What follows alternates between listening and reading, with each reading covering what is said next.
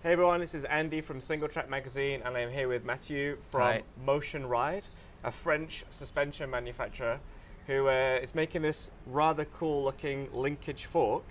Now, I know a lot of you are wondering, like, why would I want a linkage fork when a telescopic fork is so good? So, why?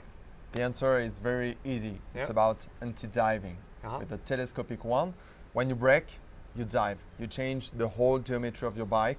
Uh, you are not stable and you lose uh, something like 80% of your capability absorbing shocks. It's, it's not normal, it's a problem. Yeah. We did that to answer this problem. This is the, the only fork able to, to be 100% anti-diving. So if, if you go into a steep section of trail and you pull your front brake, you're not going to move down. Exactly. You It's just have going to sit still and all your travel available in all situations. So, I mean, how did you come to the design? How did you decide to make the fork look like this? You, you know, we, we saw a lot of linkage fork in the past, but it was from engineering thinking. Yeah. Okay, and we know they, they, they have some problem with that. We didn't choose the position of the axis. It's the only solution, mathematical solution, to get a anti-dive uh, fork. Yeah, so you didn't So- think, oh, it has to look like this. No, not It has to all. look different. You've Yeah. you've taken a bri- blank sheet of paper, designed Exactly. from the ground up, and you've gone.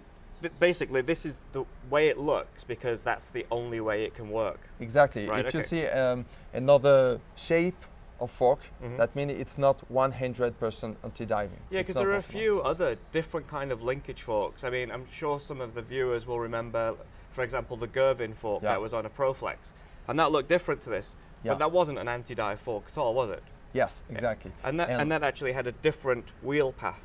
Yes. Whereas the wheel path on this is is exactly the because there is two things we, we wanted to uh, to keep. It's the standard um, way to mount it. the steerer, yeah. Yeah, Yeah. okay. And uh, the, the same axle path as a normal fork. The, the goal is to, uh, to make people able to, uh, to have the same repair than uh, with the telescopic one. Yeah. Okay, so it doesn't change nothing about geometry or uh, feeling you can have on your bike at the beginning. It just anti-dive. Right. So I mean, this fork is first of all remove anti-dive. Yeah. I mean, if you wanted to, you could have changed the axle path. You could have changed the the uh, offset, but you wanted to keep it as similar to a standard fork as possible. Exactly. Because like if you change too much, people won't know Yeah, where the benefit we are used is. to, to ride on that, so Yeah, exactly. Cool. So, I mean, with this, there's a, I mean, because it's anti-dive and it is a linkage fork, it's kind of cool because you're not really losing any wheelbase, are you? Mm. As the, the fork travels through its, its, you know, full travel, you're not really shortening the wheelbase of the yes, bike either. exactly. Uh, at the beginning, uh, I mean, uh, for the first 50% Yeah. uh, of the travel, it's Mhm. exactly the same as the telescopic one. Yeah. But after, as we can do what we want, Yeah. we choose to um, to have a vertical uh, travel. Yeah. Okay, and that's good for the uh, wheel to keep the same and to keep the your bike stable for big shocks like uh, jump or stuff like that. You Yeah. don't uh, feel. Uh, Doesn't feel squirmy yeah, as you land, When you yeah. touch the ground, you know Yeah. you're very stable. And it, you can actually notice it a little bit on the bike. I mean, on a bike with a, a regular telescopic fork, you push down and, and the wheel sort of sucks up underneath you. Yeah. Whereas this is just li- lifting up in front of you. It's Yeah. it's very it looks very interesting. Yeah. At the beginning, it's the same as the telescopic one, Mhm. and at the, the half of the travel up, it comes vertically. Yeah. So you have the anti-dive feature, and then on top of that, you, when you're hitting terrain and you're going faster and faster and faster, you're not losing that stability, stability yeah. because you're Yeah. not shortening the wheelbase either, are you? Yeah. And uh, I mean, and and although again it looks very very radical, it's not changing the geometry of the bike either, is it? It's not affecting anything like Not that. at all. We The have a same standard. age. Yep. Yeah, the same offset. Yep. Uh, everything uh, stay the same. Yeah. Yeah. And uh, this version is a 160 millimeter travel, and it has the same crown to axle as a, as a Fox 36. So Exactly. you could put it on your bike, and no anti-dive, no wheelbase changing, Yeah. and no maintenance. no maintenance at all. There is no ball bearings. No, Okay. no ball bearings no, in here. No ball all, bearings. Right. It's um, composite bearings. hmm more uh, bushing. Bushing, okay. yeah. It's special one. It's not uh, like uh, we were used to uh, to, to see on on the bike. Yep. It's um, uh, more complicated for us for the production. Okay. it's very pre- precise uh, stuff, but when we do it, Yeah. after you don't have to do nothing. No maintenance, no oil, no grease, no play, no screw, nothing to do. Wow. It's quite exciting, isn't it, to Yeah. think that Just have fun. yeah, just just Yeah. ride your bike and never clean it.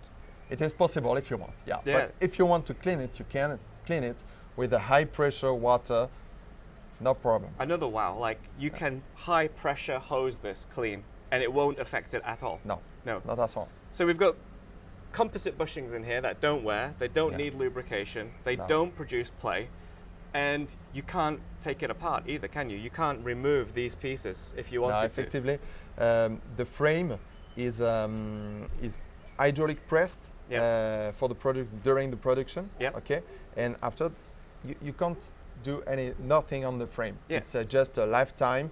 Uh, it's all. Yeah. I mean, if if there was an issue, um, uh, you you can still do it. Yeah, it's not something you would do at home. But nothing to do really. Yeah. And if you, I mean, you might be able to see here on the on the video, we've got these uh, end caps. Yeah. Uh, and although they look like that actually removes the pivot, that's not the case. It's You- just cosmetic, isn't it? You can remove it with Yeah. uh, special tools Mhm. just to uh, for the design, for the change the color if you want. Yeah. Uh, at the moment we have four colors, but it's just for uh, the design. Yeah.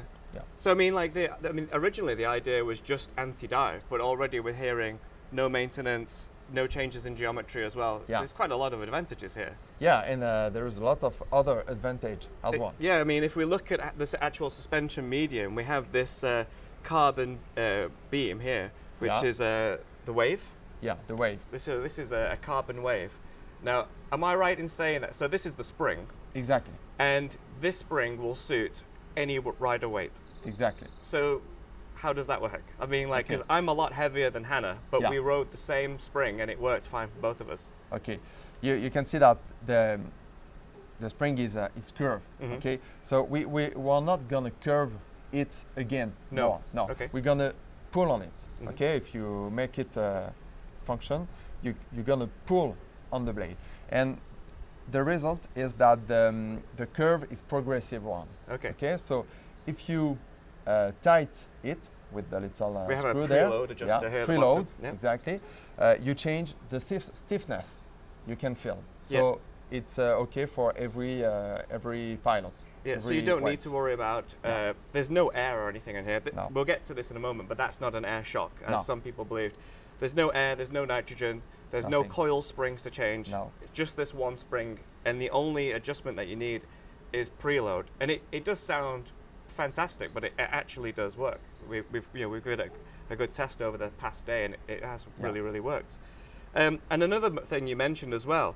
Uh, generally, when we've posted about this fork in the past, everyone's thought of this being under compression and it's it's being squashed, and kind of worried how much uh, stress these carbon fiber uh, threads can take.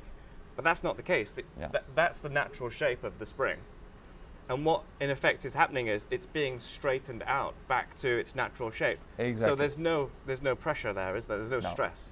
The more the, the bigger shocks are, uh, the the better is the. So the this blade. is this is actually relaxing. Yeah. It, it, the yeah the threads are relaxing under under load, which is pretty impressive. And and if we like I say if we look at the other side, this is not an air shock. It's just No. a damper, isn't it? Exactly. One person damper, okay, no air. There is no um, internal piston inside. Mhm. Um, there is two problems on the normal uh, damper. Yeah. The friction, Yep. okay, and overheating. Mhm. The friction, it's about um, air pressure inside. Yep. Okay, so we don't have air pressure inside, and about um, high pressure hydraulic seals. We don't have seals. Yeah. Okay, it seems. Uh, I like the way you Yeah. design things. It's like okay, the problem is this, so let's not put it in. we we Just, just take it away. Yeah. We don't need to fix it. We just remove it. And to remove high pressure seal, Yeah. we, we have to be sure that there is no high pressure. So we have uh, atmospheric pressure technology Yeah. to make sure there is no high pressure inside. Leak is not possible with our technology. It's So you don't need to worry about leaking, Impossible. Right. We don't any. We don't have seal. right? So no leak.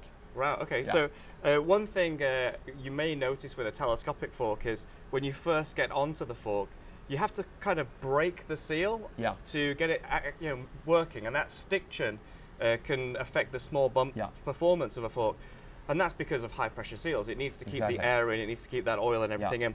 But because this is a low pressure system, the seals don't really need to do so much. So No seal, No no, no, friction, no stiction.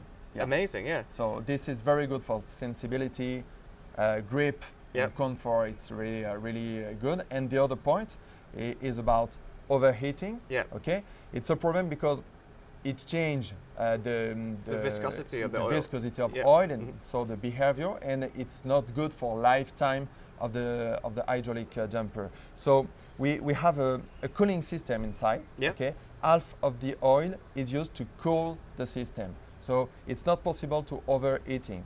So the same behavior all the time. Yeah. Okay. And no maintenances as well. Uh, again no maintenance. So we've got. So it's, it's, it's you know it's quite I mean especially for us where it's usually muddy and rainy like Yeah. to, to have something that has no maintenance, no seals to worry about. You can pressure wash it. Yeah. It sounds like the dream basically. Yeah. i it's done for that, Yeah. for the dream, and just pleasure to ride. So on top of the uh, you know the, the pull action, the low pressure system, and obviously the the, eh, the oil circulating to cool Yeah. down, um, we've also got an adjustment on here as you Yeah. well not really as you'd find on a regular fork. Again, it's it's different again, isn't yeah, it? it's a bit different. We, we wanted once again doing something very simple. Yeah. Okay. Um, so you have in the, the first part you you adjust the rebound like a normal one. Okay. But we have a second mod, Okay, the firm mod.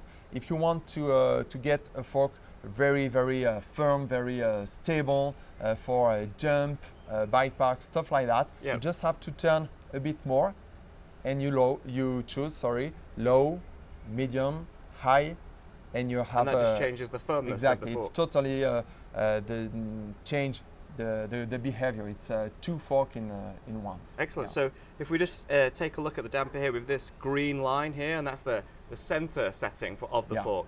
And if I turn it anti-clockwise, yeah that affects the rebound only. So only the rebound. So the further anti-clockwise you go, the faster the rebound Faster, is. yeah.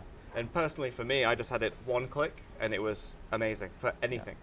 Doesn't matter if you're hitting small bumps, big bumps, jumps, rocks, roots. Just one click of rebound was the only adjustment I had to do.